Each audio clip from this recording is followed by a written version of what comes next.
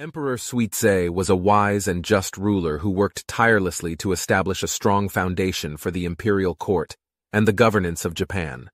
He was born to Emperor Jimmu and his wife, Ahiratsuhime, and succeeded his father as emperor in approximately 581 BC.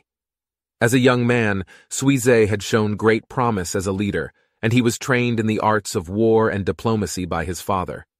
When he ascended to the throne, he faced many challenges, including the need to establish a system of governance that would ensure the stability and prosperity of Japan.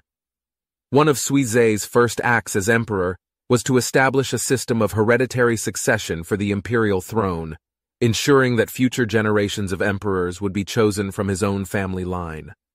He also worked to strengthen the central government and establish a system of law and order throughout the land.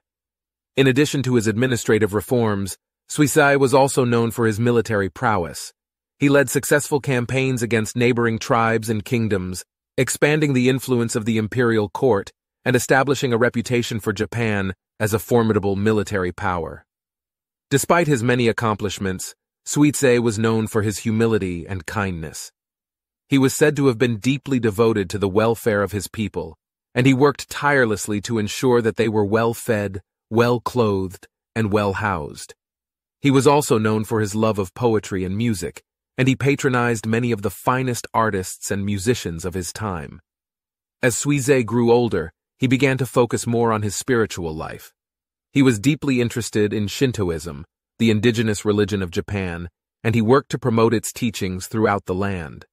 He also established many new shrines and temples, and he encouraged his people to follow the path of righteousness and lead virtuous lives.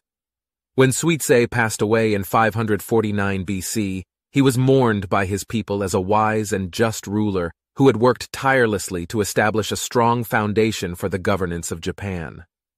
His legacy lived on through his many reforms, his military victories, and his devotion to the welfare of his people. And his example inspired future generations of emperors to continue his work, building a strong and prosperous Japan that would endure for centuries to come.